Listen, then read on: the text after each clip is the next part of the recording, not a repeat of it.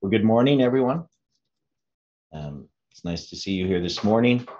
And uh, we're going to continue our study from yesterday, though I'm going to go backtrack a little bit um, with some things that we and me and Aaron Iran came across. So uh, let's begin with a word of prayer. Dear Father in heaven, we are so very grateful uh, for the time that we have once again to study your word. We pray for those who have been studying. We just ask that um, your Holy Spirit can be here to teach us.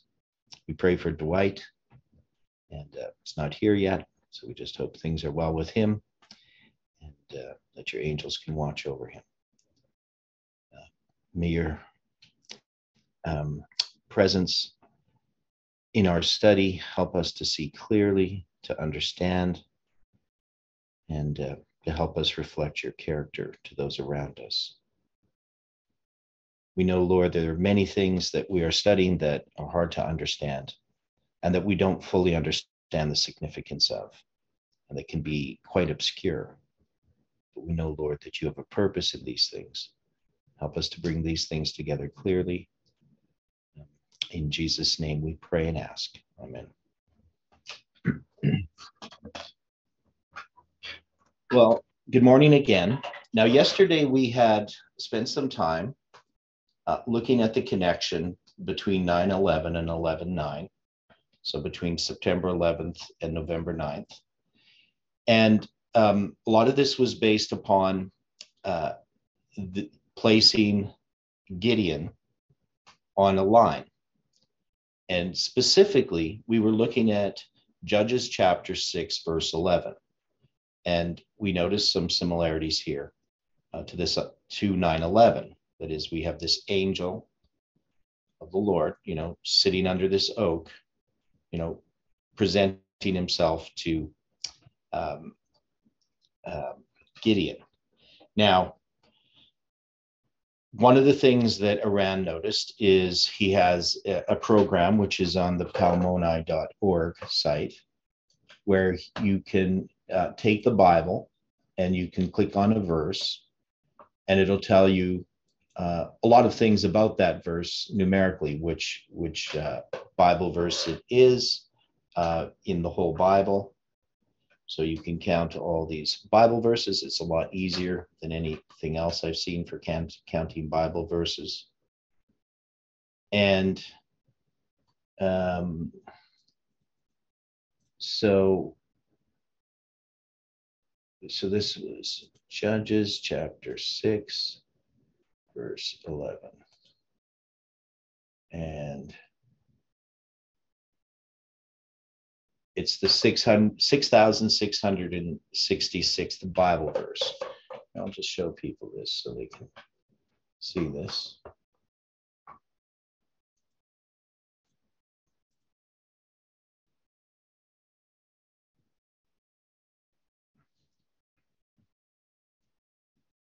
So you can see right here, kind of highlight that there. So it's um, I always get mixed up. So reverse verse in that chapter is the 30th. The Bible verse is 6666. Uh, from the end of the Bible, the reverse is 2437. So, so he has all these different things. He has the gematria of the verse as well, and the chapters, etc. Now, um, being the 6,666 Bible verse, I mean, it's obviously this uh, repetition of the number six.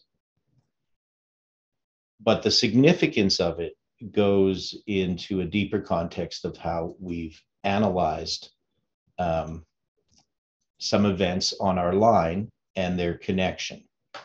So, one of the connections that we have is uh, and so I know this is obscure for some people, but but we have to sort of all put it together and see how it's all interlocked.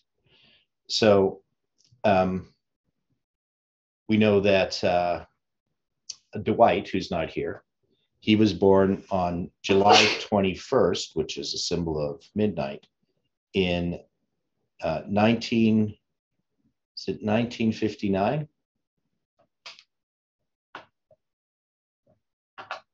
That the year Iran? Sounds right. Yeah. Now, um, maybe the way to do do this, uh, just to deal with. Um, so I'll share this other screen just to, to show you some of these things that you can see them visually. So this this program, it, this is just part of the calculator that comes with uh, with Windows. Uh, but you can take a date and so if I go July 21st, and then I'm going to count like to today, it's 63 years, three months, one week, and three days. It's 23,113 days. Um, and Iran is born in 1975. And what's the date again, Iran? Actually, it's um, Not 77. 77, right. Okay, and the date? October 19.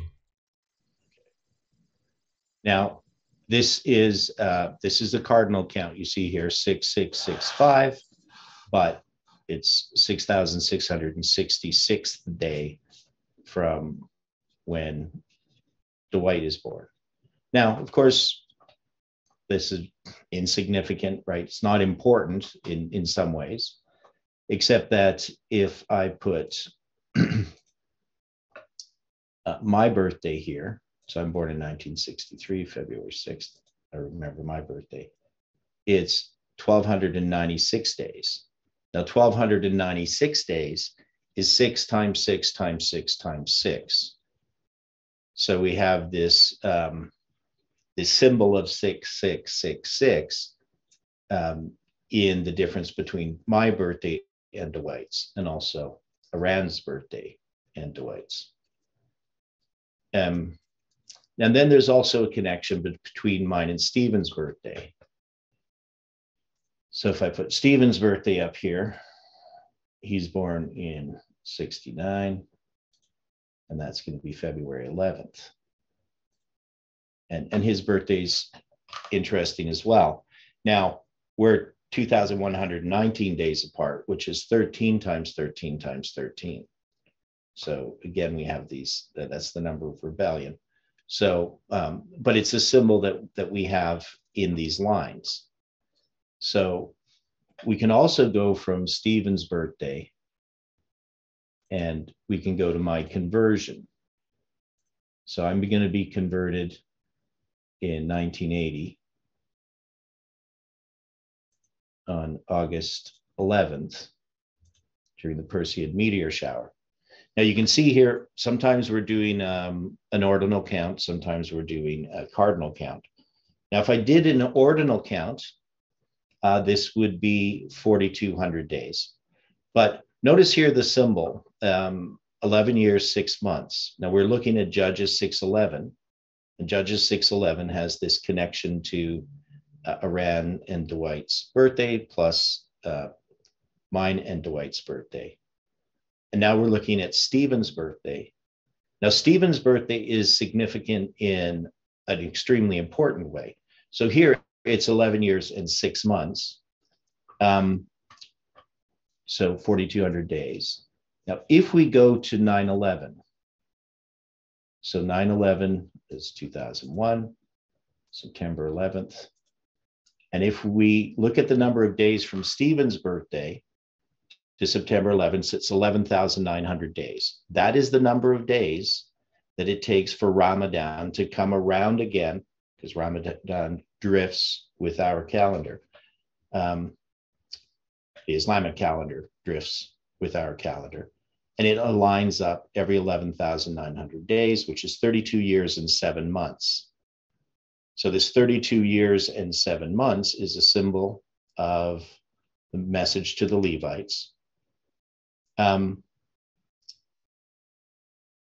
so, so we can connect uh, Stephen to this. And, and Stephen didn't notice this. I noticed this, and I don't know why he didn't notice this.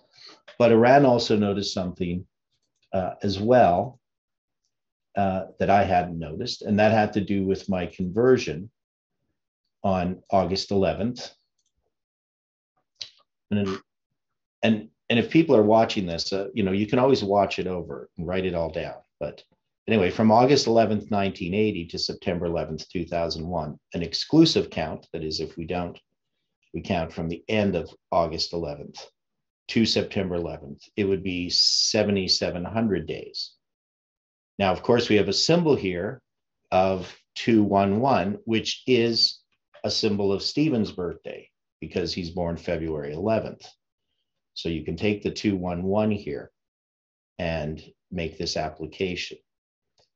Now, um, but also, if we had looked at um, the difference between Stephen's birthday and my birthday, uh, or Stephen's birthday and my conversion, it was 11 years and six months, right? As we noted, like Judges 611. But also, if we counted it as prophetic months, so so we have 4,200 days from Stephen's birth to my conversion. And if I divide this by 30, it gives me 140. That's, that's the number of months. And if I divide that by 12, it will give me that 11 years and that 0.6. So we have this 6, this 611 again. But also, this is eight months. So if I take the number of Gregorian months, it's going to be 11 years and six months. But if I take prophetic months, it's going to be 11 years and eight months. And of course, my conversion is on August 11th. So 11, 8. Now, so we bring these up because it's what we've we've discovered in connection with this. And um, so when we go back to, to what we've been doing with the story of Gideon, we're taking this story as it relates to the July 18, 2020 prediction. That is, that's what Gideon is about. But Gideon is being raised up at 11 9 that is November 9th. But we have these symbols that we can tie September 11th with November 9th. And we can also tie this verse with uh, the people involved in the chronology that is Stephen, Iran, Dwight, and myself, who've been primarily working on this chronology. Um, so the question I have would we see this as significant? Does this help us in taking this call of Gideon and placing it where we've placed it? Is it is it evidence for that? Because it's not the primary way that we we do it. We don't take all of these birthdays and and uh, spans of time and say, well, this side, side evidence. Okay. Just saying. So it's evidence. It's evidence. It is um, those things that I I like to see, I like to uh, call as uh, blessings. Just you know, the things that we see here are. It's not a coincidence, bro. There yeah. are no coincidences. Okay. Yeah. Yeah.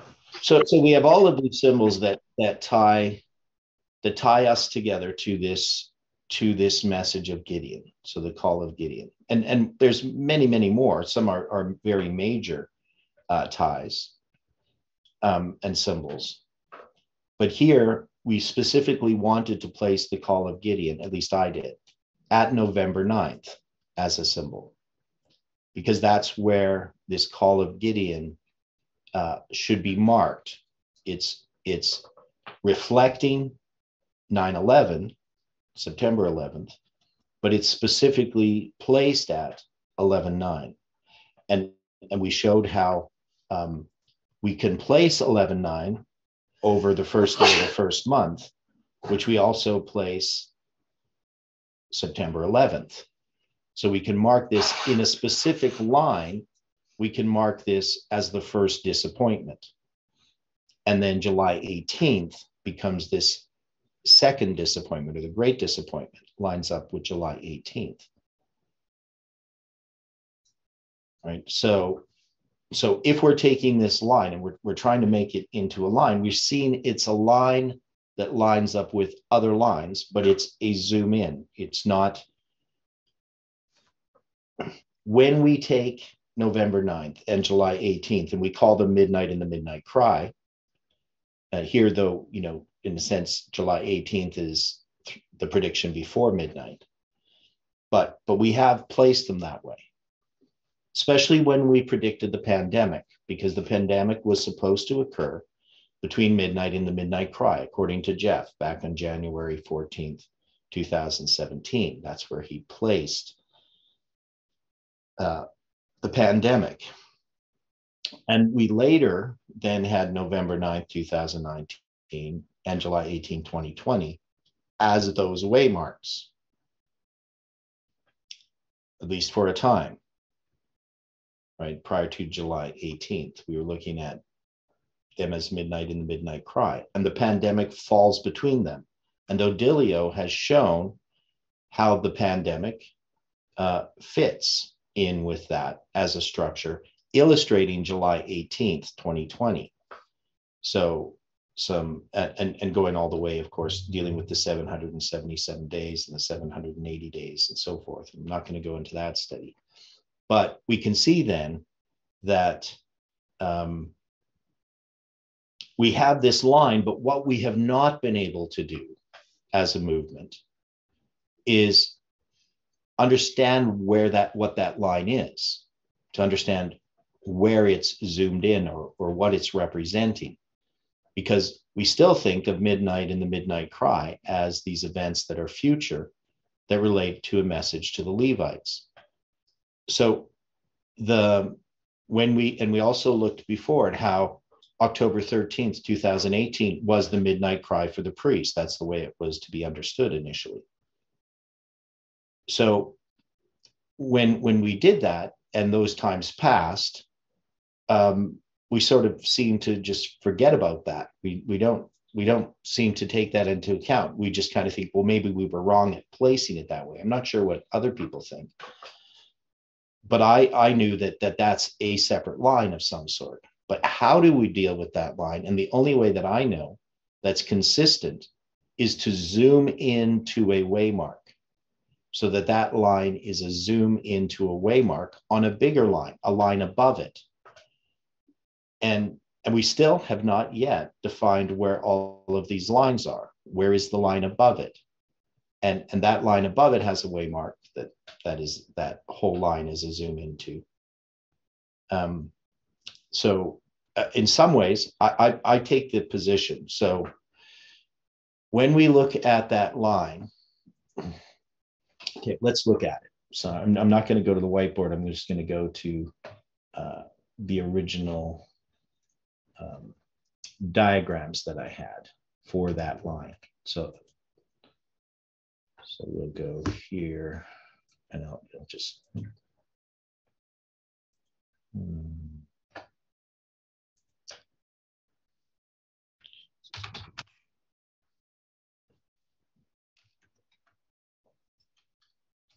See if this finds it easily enough.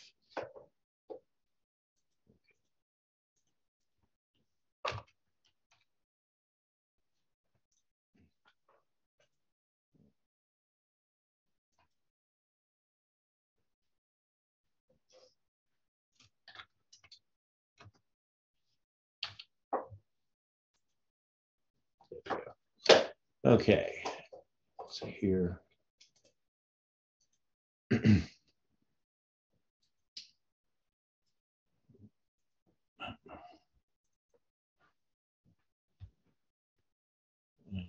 See, I got all these dates. Samuel Snow's letter. Sorry about that.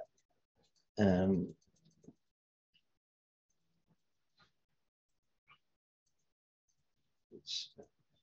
okay.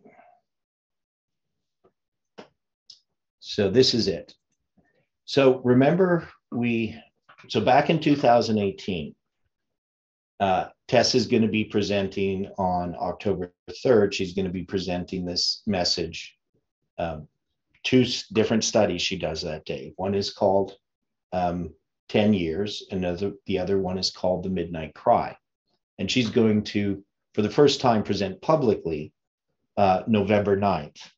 And, and she doesn't do it in a very direct way in the first presentation. She seems a bit hesitant. She sort of lays it out for us to see, but everyone sees it that she's pointing to November 9th, 2019, um, that she's marking this date that's going to be um, the midnight cry for the Levites. So we have we had the midnight cry October 13th, as you can see here. But but let's look at this first. First, we have June 2nd, 2017. And Jeff is going to open the Sabbath at 9 11 p.m. The sun's going to be setting there in Italy. Um, can't remember the name of the city. Um, but but we, we have a record of when the sun sets there, and he happens to do this right at sunset, that he kneels down at 9 11. Now, it happens to be closing Pentecost, which they're not aware of. Um, and there was, uh, with this study, um, a controversy over how long he had preached. Some thought it was 120 minutes. It could have been an hour and 20 minutes. Uh, the actual timestamp was noted as well as being 120. Uh, but of course, it's Pentecost. So that's already gives you a symbol of the 120. Um, so that's why we have this 120 minutes. It's either 120 minutes or an hour and 20 minutes that he's he's going to have this here. So um, so this would have been if I don't know why I didn't. So this would have been like 7 11 p.m. Let's say to 9 11 p.m. This 120 minutes, and he's going to close close this uh, meeting. So I don't know why I had 9 11 p.m. So Sabbath begins. And from there, we can count 391 and a half days. So that's the symbol that comes from the prophecy of Josiah, as well uh, from Josiah Litch's prophecy. 391 years, 0.5 months. In that case, here we have 391.5 days. And it's going to bring us to the Julian date of June 15th. Um, now, June 15th is um, it's the Gregorian date, June 15th, that's going to mark a beginning of 120 days. That's going to go to October 13th. So I know a lot of this is review, but it's also probably sketchy. Now, so this first structure here, this is what I noticed. Um, first, I knew about this June 17th date. Um, and I and I done this calculation, but I didn't know about this June or June 2nd date in 2017. But I didn't know about the June 9th uh, date until the Sabbath, which was the the 20th, October 20th or 19th, maybe. Anyway, it was at the end of the camp meeting. So it's going to be the last uh, Sabbath of the camp meeting. So this is it's going to be, I guess it'd be the 20th because October 13th was the Sabbath. So the next Sabbath was the 20th, and it's going to be on the 20th at the camp meeting, the last Sabbath of the camp meeting, that I'm going to uh, uh, pre- present this part of the study. Now, um, because I got an email telling me about this one, but when I was telling uh, some people before before the meeting started in the morning about this. They told me about what happened in 2018. So this is in 2018 on June 9th. So it's going to be one year and one week later um, at 11, 9 11 p.m. that Jeff is going to end the Sabbath with a 9 11 prayer. So it's from this one then that we count this 126 days, which is what Daniel from Brazil was counting when he was predicting November or October 13th. And he was doing that on October 3rd, that he told us about this. But he had figured this out on July 27th, 2018. And so when we took all of these different things, the 120 years representing the 120 uh, days that we have here, the 120 years of uh, Saul, David, and Solomon, and the 391 and a half years of the kings of Judah. That's what I was marking. That's why I, I lined this up here. I was taking lining that up with uh, the kings of Judah in the United Kingdom and the divided kingdom. Um, we actually find this is the structure of Samuel Snow's letters. That is, if we took Samuel Snow's first letter, when it was published, there's going to be six days, just like there's six days between here. Um, and, and so all of this fits in with this structure of, of Samuel Snow's letters. It's not all shown here. But this is about 9 11. And so what I'm trying to say is that this line here, uh, where we have this as the midnight cry, and, and we could take this and put this into a structure where we have a period of darkness, um, we have an increase of knowledge, we have a formalization of a message. Um, and, and, I haven't done that, and, and maybe we should, but I've done it in my head. I mean, the formula, formalization of the message is going to be uh, what what's going to happen here in connection with time setting being presented into this movement. But but you know that's sort of more of another study. But the idea here then is that this October 13th, that's a midnight cry, is really dealing with zooming into November 9th, 2019. So November 9th, 2019 is a waymark on another line. So this line here, this whole line, all of this structure is a line that's produced by looking at another waymark that is a waymark on another line. Does that make sense to people? I know this is a long explanation.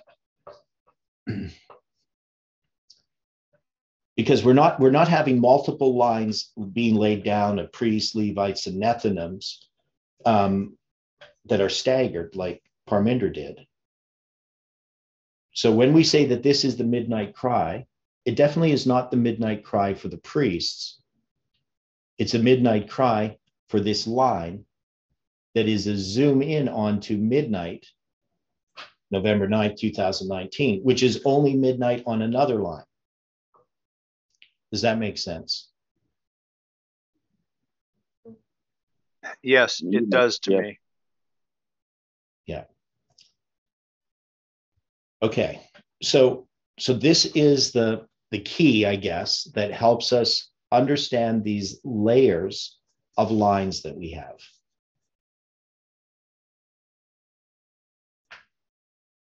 Now, when we look then, so if we go, I'm sorry, what were you identifying as the key? the fact that we can zoom into a waymark and create a line. Oh, yeah, okay. Right? All right. You know, and Agreed. and who knows, we could zoom into October 13th, 2018, and you know, maybe there's a line there too. You know, I haven't done that. But you know, you could you could zoom into any waymark and when we say a waymark, it's one of the seven waymarks on the line. Right? Because we have a line, there's always these seven waymarks. That's so that means I can zoom into um, that waymark and I can get a line, right? So those now we don't try to create these lines. That is, I mean, somebody could think we try to do that, but what we do is we just notice waymarks and then we notice that these are lines. And so we, we're sorting through what happens, but we can't end up with these multiple waymarks, um, uncertain what to do with them. Right. And this is this is what's happened to this movement from Jeff having these uh, these larger waymarks and then zooming in and, and continuing to find waymarks.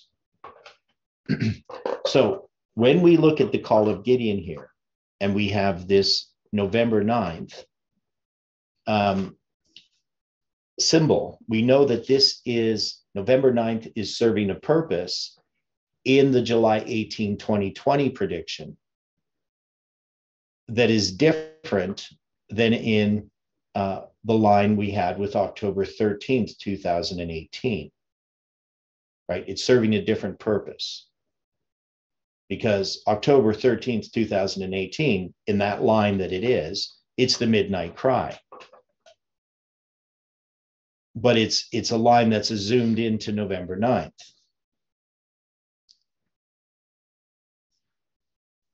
but it's a November 9th that that serves a different purpose then than it does here. Because in the call of Gideon, what is this line? What would we call this line dealing with the call of Gideon?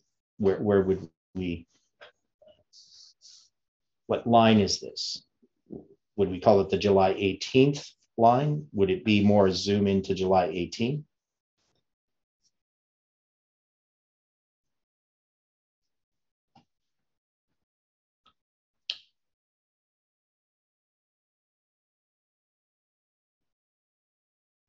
wasn't wasn't um, the story of Gideon uh, the one that Jeff equated with this July 18th um, number?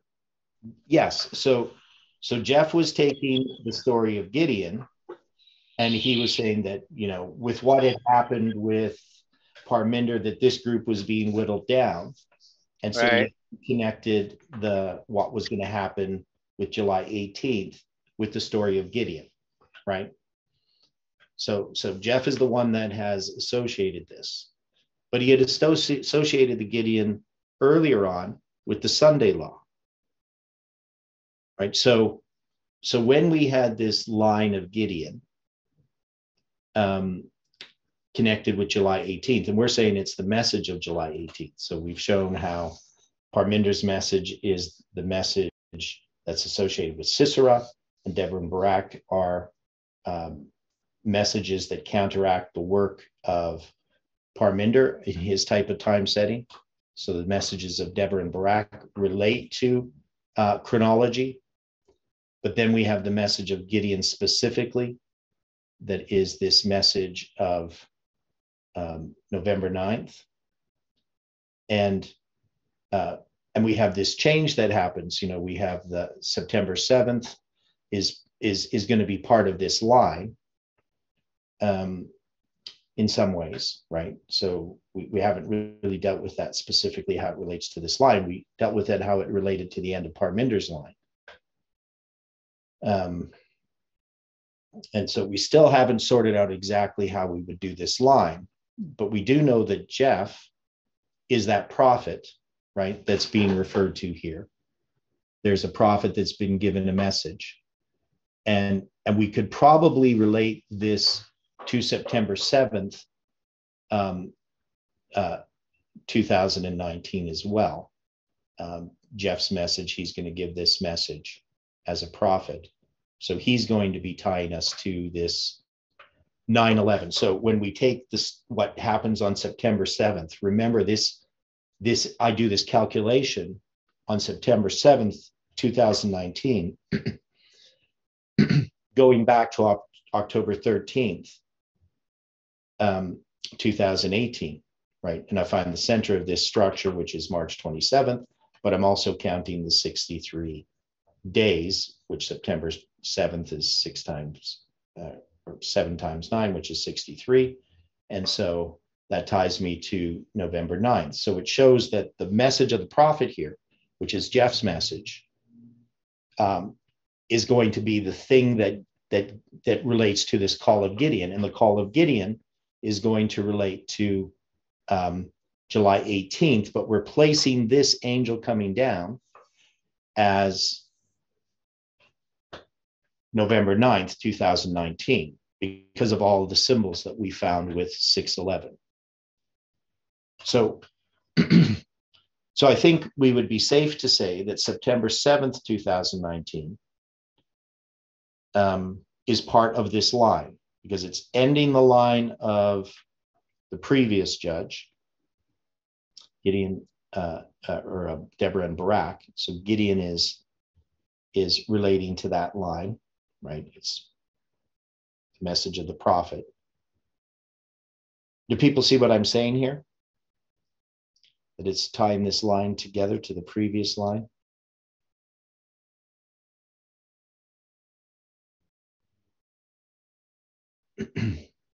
yes, somewhat. Okay. and this is the message of July 18th, but the message of July 18th has a line, it has events that precede it. So we, we would have to say September 7th, 2019 was important for the July 18, 2020 prediction. Jeff is not going to present it then, but that's going to open the door for him then to look back to restore this message which had been rejected. And then um, we we moved on from here, right? So we we looked at the the offering. And where did we place this offering? So we have this this offering, this first test. Right? He's going to take this this offering of this kid and uh, um,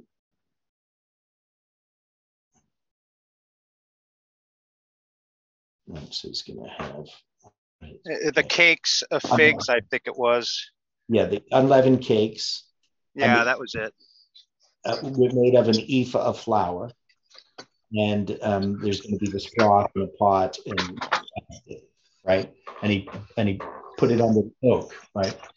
So we place this as um, not July 18th itself, right? So what did we place it as?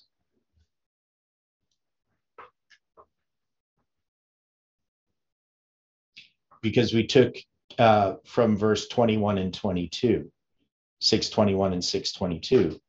And we don't really have that as a waymark per se on a line, right? But we took it as June 21st and June 22nd of 2020.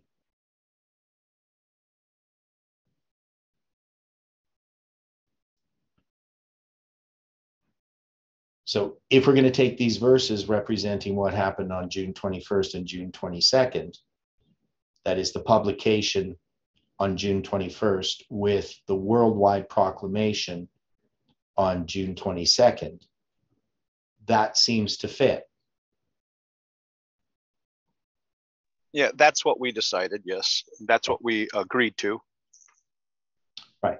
So, and that was a test then that should have confirmed to us and, and I think it did confirm to us about July 18th as even though we're publishing these, it was it, it is sort of this first test, right?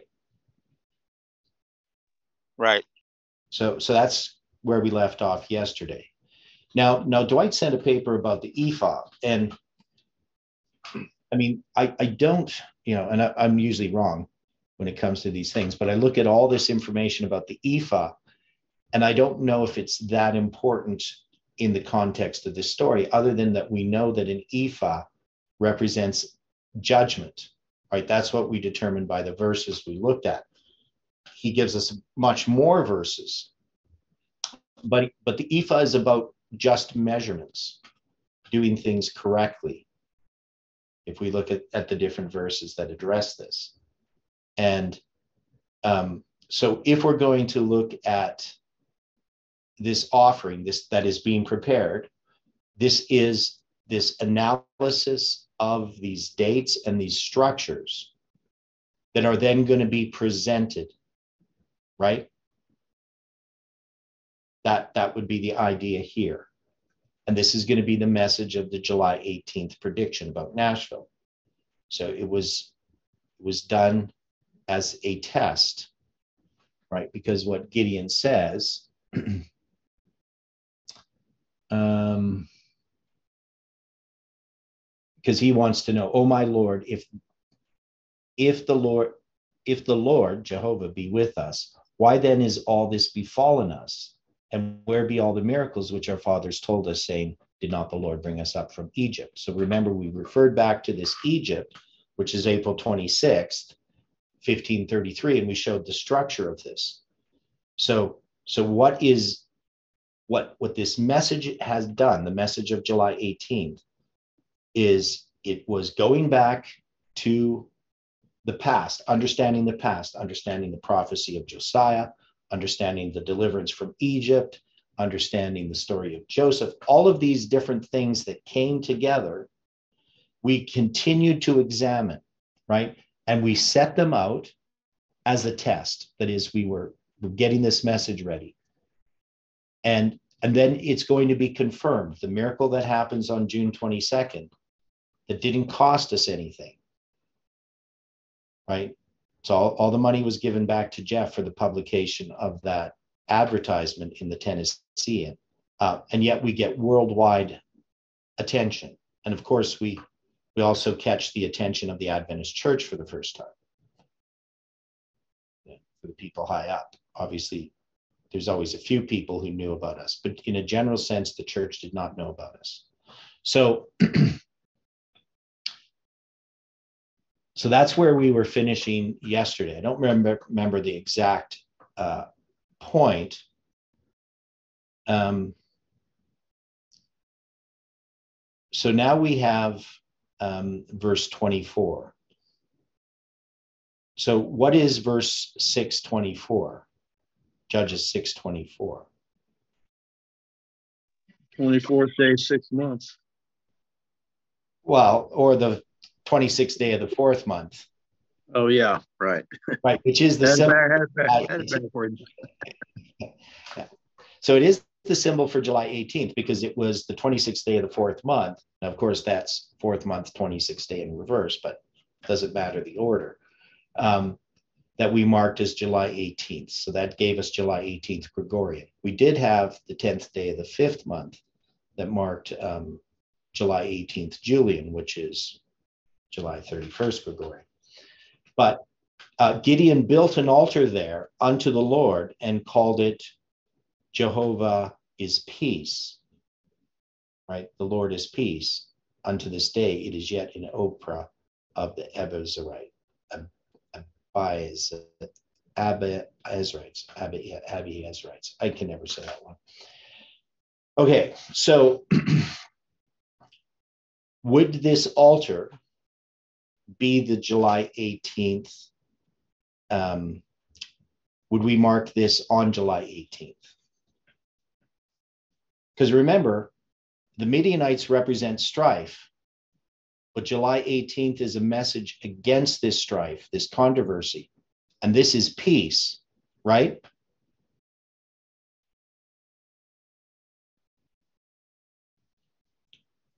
So, is this where we would place the building of the altar as July 18th itself? Because we had the, the offering of the cakes being accepted on as June 21st and June 22nd. Now we have July 18th as a symbol. Are, are we going to take this and place it there or some other date?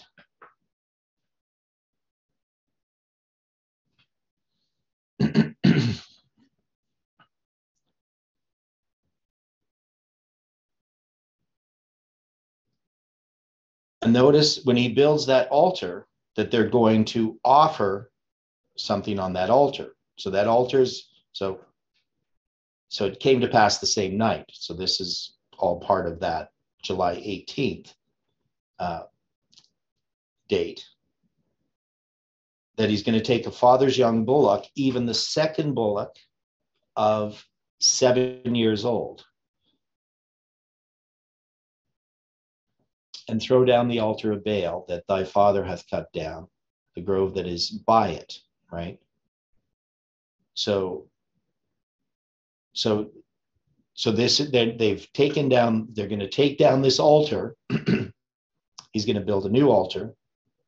He takes down this old altar and offers this seven-year-old bullock upon it.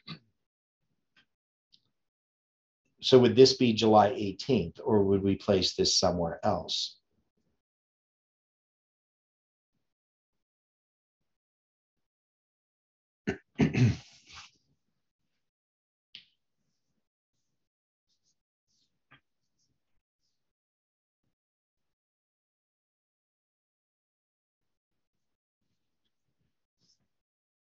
because we're going to have more tests that are going to come, right? So we we placed this at July 18th, if I remember correctly, yesterday, right? We took this, the symbols here of the seven times.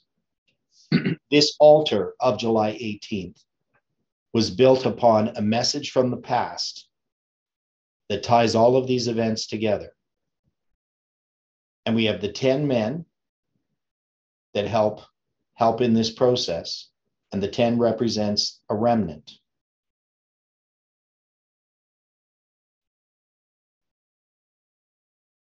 Right. And we talked about how this message, um, this support for this message, is going to be done by night. Right. So part of it has to do with so this is all of this message that is being done. It's all of this connected with July 18th because we have this opposition to the July 18th message that still existed, right? The altar of Baal still existed within this movement, even in the midst of the July 18, 2020 prediction, correct?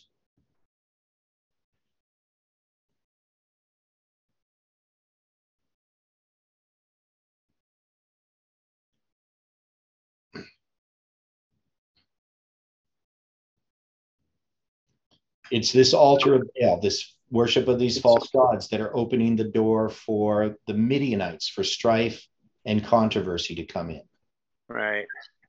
Yeah. And so didn't we uh, apply this, that particular um, analogy to what's still going on right now? Yes. Well, because after July 18th, um, we still have to continue doing this stuff. I mean, in a sense, it's all through this history. Right. Uh, we're doing this, there's this opposition to the July 18th message within this movement, yes. right? It was existing before July 18th, it was existing after. And so we're Yeah, saying, we've even put qualifiers as to uh, how it's being rejected, even though it's it's on the face is not. right, because they're they're rejecting many of the arguments that we presented that actually support July 18th. That's right. So if you reject the basis for July 18th, you can't say you accept July 18th. That's right. So that that's been part of the problem. It's like, well, we accept July 18th. It was from God because Jeff said it, and and we're accepting what Jeff said, but we're not going to accept any of the arguments you give for it. Well, isn't that what got us kicked out? Yeah, well, that's what that's what got us to. So I mean, and we can see that the same arguments that were being presented in the December 6th, 2020 declaration are the same arguments that are still being used within this movement regarding Yeah. what's happening. So it's the same arguments. Don't want all of these numbers. It's too confusing. Um, you know, they're going to Yeah. take some, they're going to pick and choose. yeah. So when it fits in with their uh, their ideas about the pandemic and the vaccinations and the mandates, they will accept it. Um, but anything else, they won't, right? Or if it fits in with Trump, they'll accept it. So they'll they'll use numbers when they want to, but they don't want to look at things all the time. And some of them even who because I know some people who don't even like the direction that they went with Odilio or with Collins' use of, of chronology. So there's a large portion in this movement who don't like any of that that still exists within this movement. Now, and we even have, you know, we look at the Hebrew numbers. So, I mean, night shows up as a word a lot, but in um, 627, um, now, 627 is, is a bit more of, this, of, a, of an obscure date uh, to people in this movement. But does anybody remember what June 27th, 2020 was about? So if we're going to take 627 and we're going to look at this by night, the 3915 is a symbol of the 391.5. Um, but we're also looking at this verse, Judges 627. Does anybody remember what June 27th was about?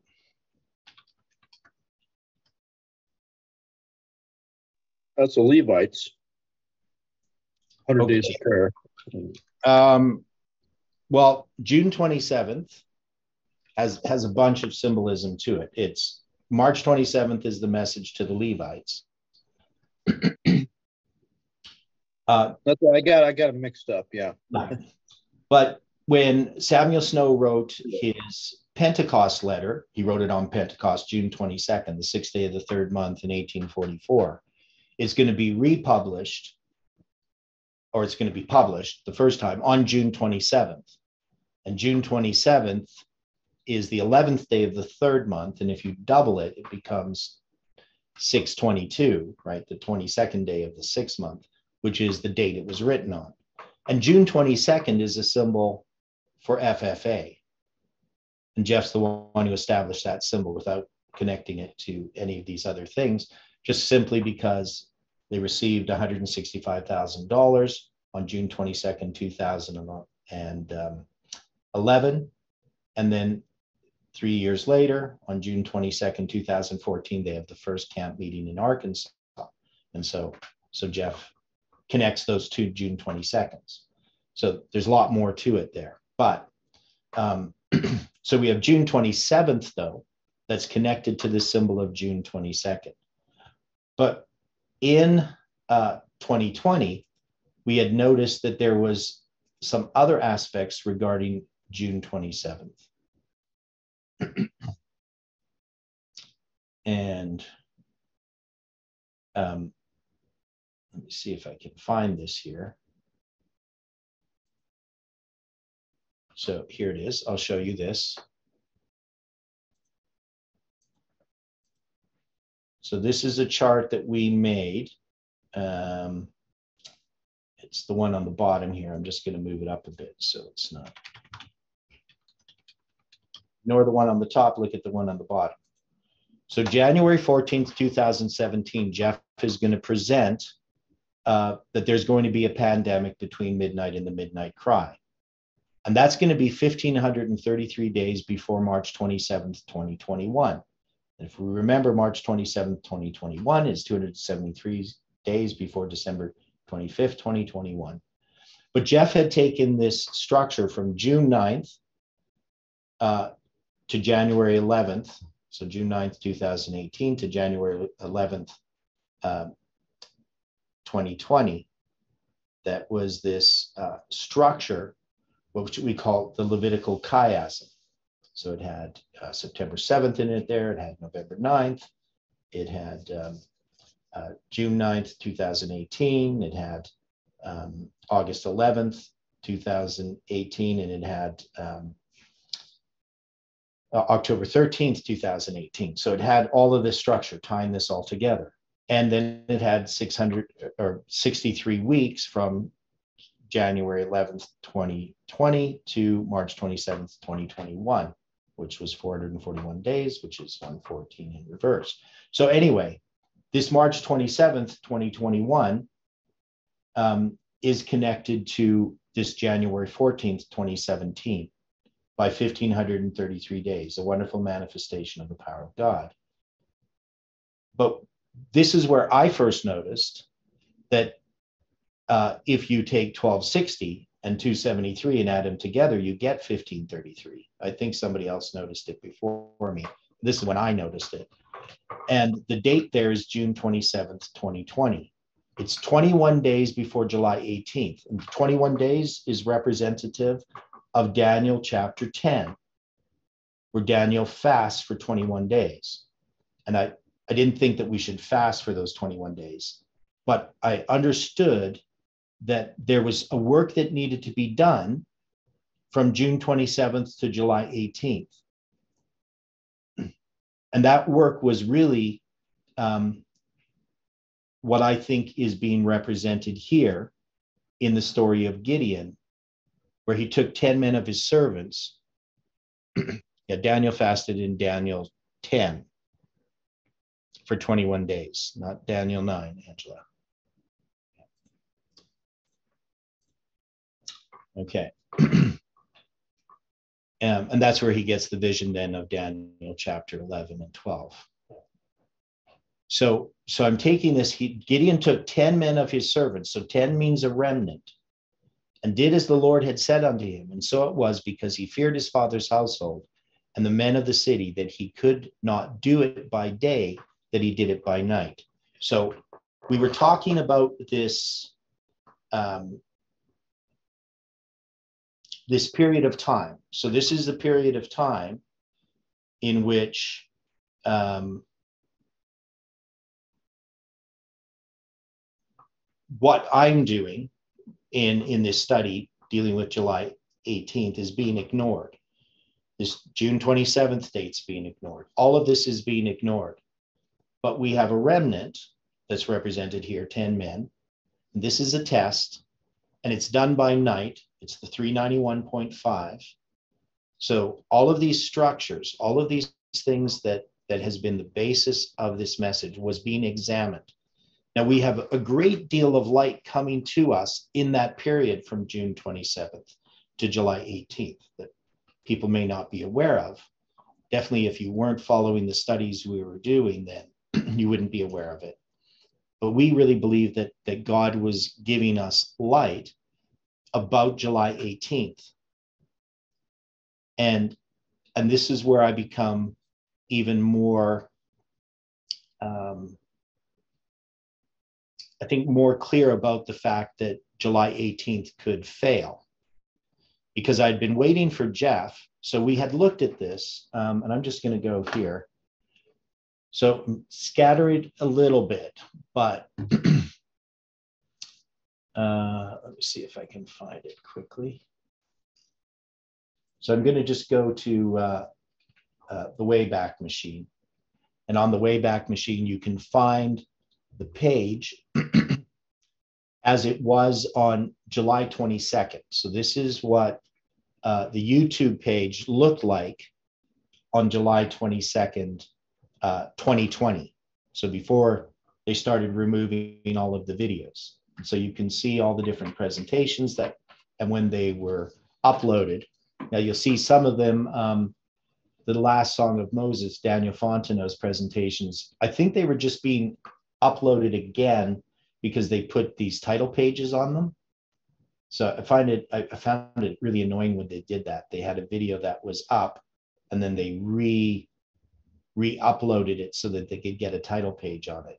I didn't like that because I like to see the dates they were actually originally uploaded, but they do have the dates on them when they were given. But the question I had asked had to do with Jeff's morning presentations. So Jeff is doing presentations on Daniel's last vision. Now he's going to do 51 presentations altogether. Uh, the last time he does these presentations, you'll see here, um, uh, July 11th, 2020, he's going to do two presentations on that Sabbath. Uh, this one here, number 49, is posted after because they put the title page on again after Do they you remember originally. what the presentations were about? Yeah, Daniel's last visions Oh, sorry. were, You yeah. said that. Yeah. So, um, and then you can see that um, he actually does one on June 27th because that's going to be uh, two weeks before. And you can see this one that they didn't put the title page on uh, right here in the middle of over here. I guess hopefully you can see that. I could probably make this bigger. I don't know. Yeah, I got all these ones in um, Yeah. in the transcripts. I got all the transcripts of these ones. I don't have the actual recordings anymore. Yeah.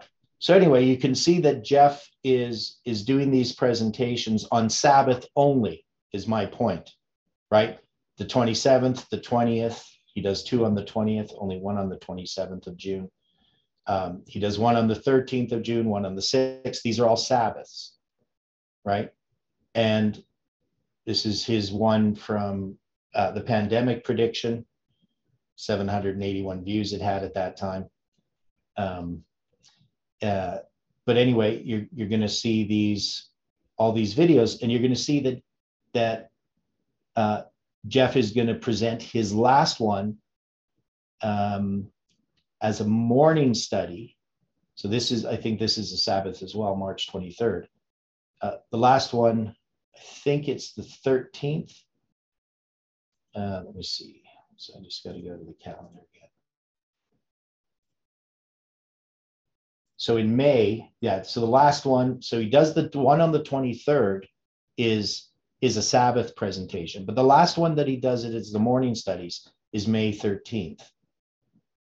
And so so we now have these other presentations being given that um, Elijah's impending conflict. I don't know if people remember, but I mean, I was watching all of these presentations and wondering when is Jeff going to present the idea that that I sent him on April 26, 2020, that showing that our our prediction is in a line of failed predictions. So I thought in May he was working towards that, but then he stopped presenting and Daniel Fontenot's presenting, right? Now he's going to do, of course, the Sabbath presentations, right? So he's going to do, uh, you know, May 23rd. And then the next one that he's going to do is going to be um, not until June 6th. So he's going to do uh, a presentation on Sabbath on June 6th and June 13th and June 20th. But now, as he's doing these presentations, he's not referring to any of my studies dealing with that this might be a failed prediction because it's on a line of failed predictions. So, so in a sense, what I'm saying is that this was being done in darkness or at night. That we had to do it in night, not by day. That is, it wasn't it wasn't being presented to everyone. Only those that were watching my studies were aware. And so I'm saying that that message is is a symbol uh, here in uh, the story of Gideon that's presented on this June 27th date. That is Judges 627. So it represents that work that was being done prior to July 18th. And, and I marked this June 27th date. Does that make sense to people? I know it's it's a little a little scattered, but can we see then that we should be able to mark this work that they have to do by night? Now it's going to be about destroying the altar of Baal and rebuilding an altar and, and so it doesn't just represent June 27th. All this work that I was doing in the studies, all this work that we were doing in studying, apart from what the School of the Prophets were doing, is, is something that was given us to destroy the altar of Baal. Because that altar of Baal is that worship of idols, the idol of self, that has allowed this criticism, this strife to come into the movement. Now, is this too subjective for people? Or is this, you know, am I just weaving a tale from a story in the Bible? Or does it fit with what happened?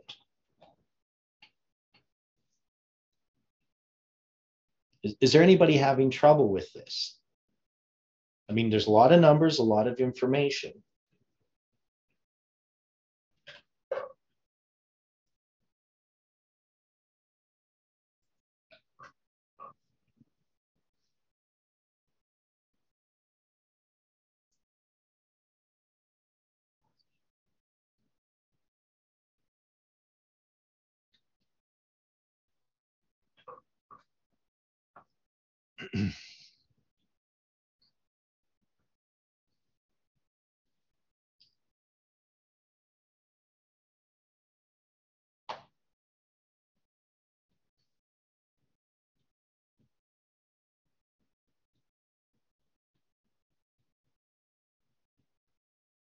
So, so we finished up this. We know that this all has to do with July 18th. And that we have this blowing of the trumpet. So this is a message of warning, um, right? Because he blew the trumpet, Gideon does. And Abiezer was gathered after him, and he sent messengers throughout all Manasseh, who also was gathered after him, and he sent messengers unto Asher, unto Zebulun, and unto Naphtali. And they came up to meet them. Now, we're saying that this is after July 18th that this, this occurs. So, how would we take this story that happens after the building of the altar and the offering, and that the people recognize this happening? And then we know, know that the Midianites, the Amalekites, the children of the east are, east are gathered together right? They pitch this pitched in the valley of Jezreel. And the Spirit of the Lord came upon Gideon and he blew a trumpet. Now, I mean, our tendency would try to say that this is going to happen before July 18th. But if we understand what the enemy is, does the enemy really come after July 18th? That we now see the Midianites, the Amalekites, and so forth gathered together against the July 18th message. Yeah, I'd say after. Yeah. Definitely. So, yeah. So this is after. So this is the enemies now come in. And and again, we're we're going to need signs of the fleece that this is going to be the next the next event. So I'm saying that this tearing down of this altar is um, is stuff that's happens in connection with July 18th. But now the Midianites and the Amalekites and the children of the east gathering together, and, and we're going to have to probably there's lots of symbols here, um, but this is going to have to be applied to uh, what happens after July 18th and to some point in our line. And so this is where we now pick up the sign of the fleece. So, and, and we're not going to get this finished here today. We're going to have to come back to this tomorrow and probably go over this again. So we know the sign of the fleece. There are two different signs, right? There's the one where he puts the fleece, this fleece of wool on the floor. And he, he says, if the dew is on the fleece only and the ground's dry, then I know that I can take on this work um, because you will be with me, right? And then he does the reverse. Well, if the ground is wet and the fleece is dry, right? So why these two uh, two different tests, and what where would we mark the sign of the fleece? So I know we might have to go back over this to. But is there anybody who has any uh, maybe a formal, maybe a formalization. They line up with a formalization of a message or of our message. Okay. Well, maybe, but but I'm just asking about the fact that they're opposites. Like oh, okay. one, is the, one is the fleece is wet, the ground's dry. The other one, uh, the fleece is dry and the ground's wet. So, what would that tell us? What are the sign of the fleece? What is it?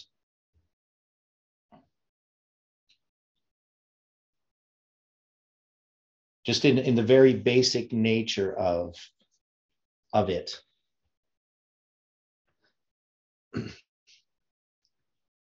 It's, it's a reverse. What is a reverse? Mirror. It's a mirror, isn't it?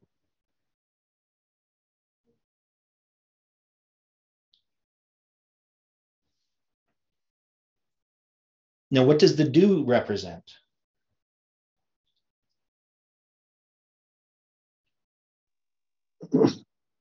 Well, dew is water, of course.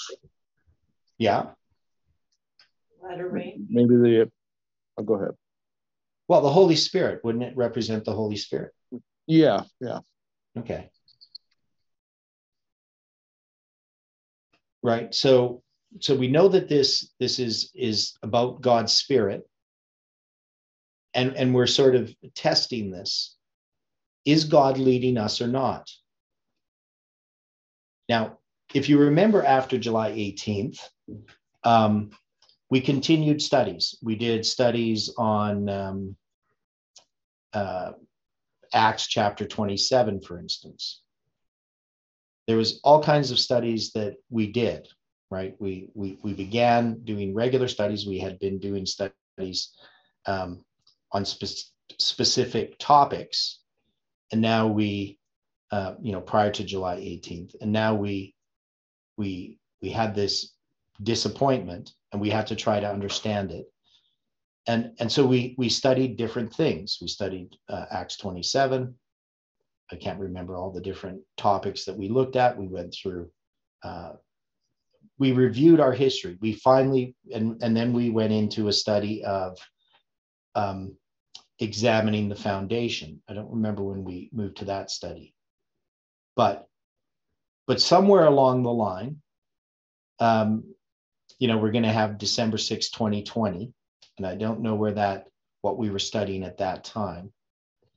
Uh, there was some studies that were being brought up regarding um, Daniel chapter 11, verses 1 to 4, right? Now, could this fleece um, have anything to do with these studies and what was happening in the decision making process in this movement regarding um, what happened on December 6, 2020? Or would we put this somewhere else? I know I'm not asking a good question, but or in, a question in a good way.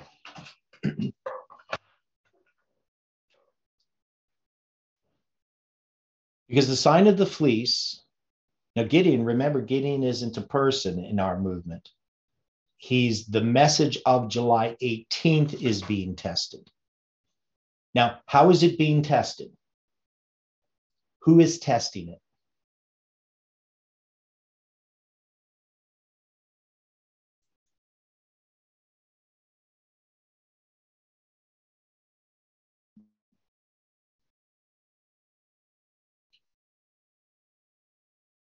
And how are they testing it? Are there two different opposite types of tests that are being done?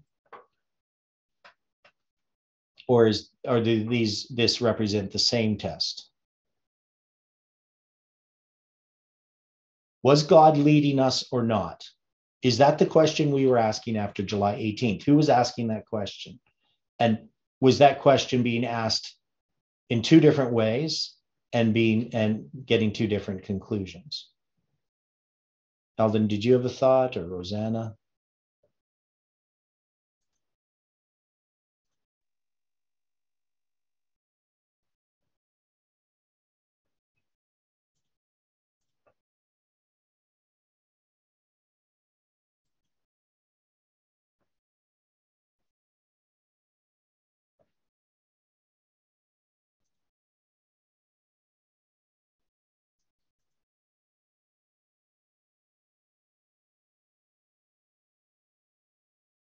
Now, understanding the lines, the study we did on understanding the lines happened, started on December 26th.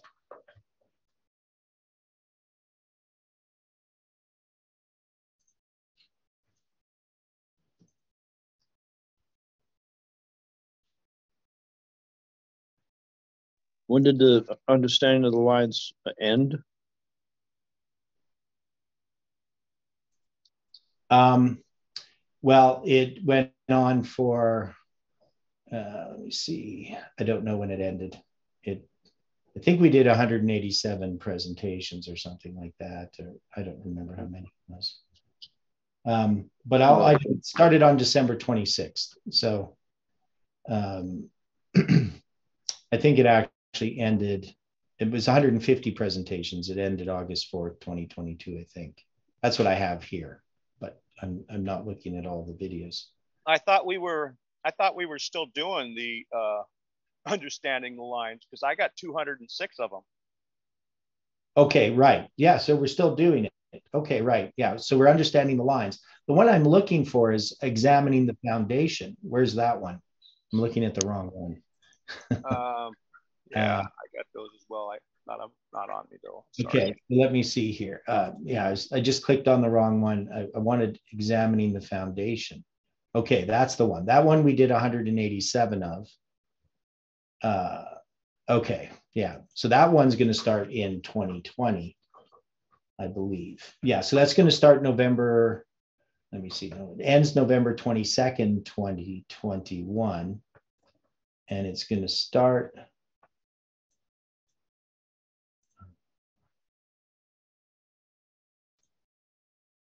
Yeah, so it's going to start on March 7th, 2021. So on March 7th, 2021, we're going to start examining the foundation. So that's still not the, uh, I know, sorry about this. It's just I'm trying to figure this out. What are you trying to figure out? Uh, I'm what, trying to figure out exactly what, what we were studying um, in uh, uh, let me see here, in 2020 afterwards. So, um, Right after you're talking about right after July 18 yeah. Um, I thought we were like Esther. Well, uh, yeah. So we did the studies in Esther. Uh, the studies in Esther were, um, that's going to be, yes, that's going to be what we were studying. November 29th, 2020. On December 6th, 2020, we were on numbers, uh, number two in the studies of Esther. So we started them a week before we, we were kicked out. So that's what I wanted to know. So we were doing these studies on Esther. And um, yeah, and, and Dwight's going to start coming in and being involved a bit more in the studies. He's going to be presenting on on studies of Esther. Yeah, because it was you in the beginning, and then Dwight started taking over. Yeah, well, I'm not taking over, but Well, you know what I mean. He started presenting. yeah. Now we did. Um, you know, we were doing the Friday night studies in sort of not a particular fashion. Um, so we had the studies of Esther. I don't There's think we bunch of things we don't time. have as, as playlists, but I know we did the studies on Acts 27, and I'd have to go way back uh, to look through all this. But but the point is, what we were doing is we were testing the message, right? And we did studies on Ezekiel as well. I, I can't remember when we did the studies on Ezekiel, but. Um, Yeah, you're right. We did a bunch of on Ezekiel. I think there was over a hundred of them too. Yeah. Um, doesn't look like I have all my playlists. I can't see all my playlists. Oh, okay, there they are. Yeah, the studies in Ezekiel, we did 105 of those. And yeah, those started in, um, we did those for, yeah, so those are going to be one of the first studies we do. We start that August 23rd, 2020.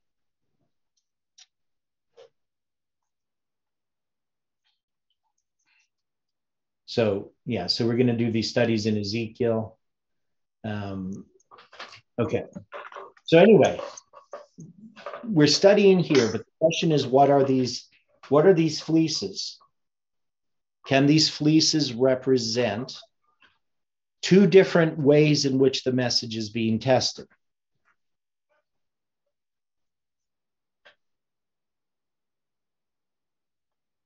That seems logical Yeah, at this it point. does seem logical. Okay. Now, and, and this is, you know, this is the message of July 18th being tested, right? Was God leading this movement or not? And no matter which way we looked at it, it gave us the correct answer.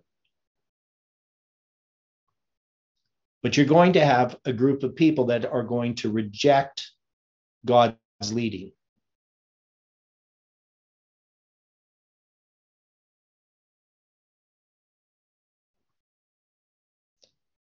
But it's it's still going on. Uh, I would think the sign of the fleece is still here. Now, what it's going to develop into is if we're going to look at two different ways, could it be that we're testing uh, July 18th itself and also the Trump prediction? I think the Trump prediction will put the nail in the coffin. Okay, so so I would say that you know that that it's possible that this sign of this fleece is still is still going on.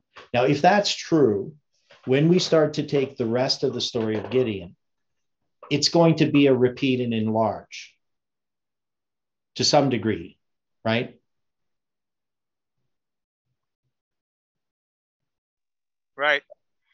But also, we know that the message of July 18th has still not come to the to its to its its purpose hasn't been realized yet.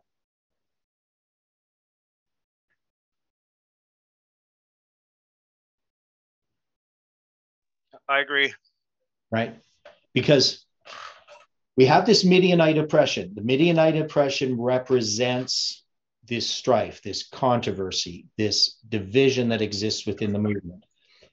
But the Midianite oppression and the worship of self, the self idolatry, has opened the door for this conflict that's going to happen in the future.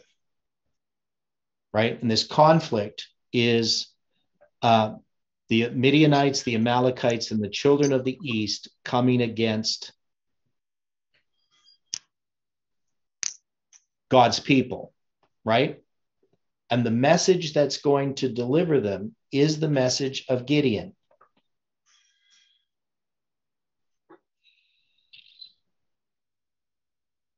But you know, we're going to have the whittling down of the 300. So that's going to have to be a repeat, right?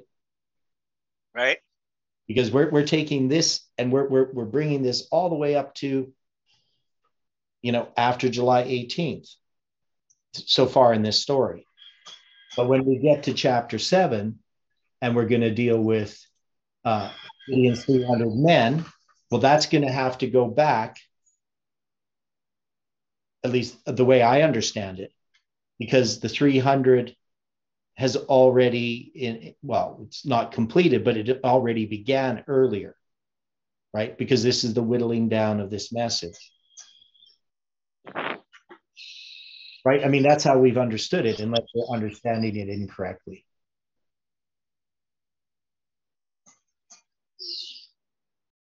So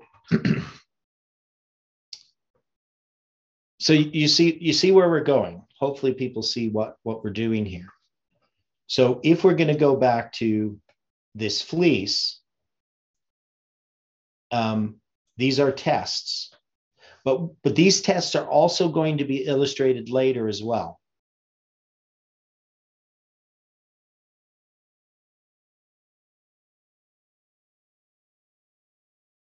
Now, we can also say that these two tests um, so we're testing July 18th. Now, so the way that I look at it is I look at Collins' uh, focus upon Trump being reelected as, as a test. That is, we're examining something. But remember, we were examining that, examining that on December 6th, or at least we were supposed to. So if we go back December 6, 2020, they had started this, these studies on Sunday mornings which means we had to move our study because we were using Sunday mornings, but they wanted Sunday mornings. So, um, so we started these studies on Sunday mornings on Daniel, and this was with everyone on Daniel 11, verse uh, 1 to 4, right? Um, I can't remember who was particularly leading out. Was it uh, Guy or was it Larry? I think it was Glee. Glee. I think it was Guy leading out. Yeah. Yeah. Um, but anyway, on December 6th, we we we expected this study to be continuing, and instead there was no study, and the declaration was released, if you remember it. So we were we were now cut out. We were, I was banned. I was kicked out of WhatsApp. You know, personally, I was, and um, now we had no access to or communication with these people, right? There was no more interest in them talking to us. Some people still remained in the WhatsApp group for a while until they got kicked out. But basically, at a certain point, they just stopped doing anything. I mean, they did mess, uh, presentations for a while, but by February or whatever, that, that was it. What right? are they doing now? Are they still doing presentations? I don't think they are. They're definitely, um, they are doing present. I think they stopped in February, right? And then they're going to sell the School of the Prophets right away. Um, so all this stuff happens, you know, shortly after the declaration. Mm, yeah. So, so yeah, so that's where we, and we're going to come back to this um, tomorrow. Hopefully, Dwight's here. Um, but yeah, so we're and, and we're gonna have to examine this more thoroughly too. I think this whole story of Gideon, we really need to sort out properly. I don't think we can just, you know, skim over this. Because we keep coming back, we keep seeing more. We keep Yeah, I don't think we can skim over it either. okay. Keeps Okay. coming. Okay, thanks everyone for uh, your participation. Let's close with a word of prayer. The dear Father in heaven, we are so very grateful again for these studies.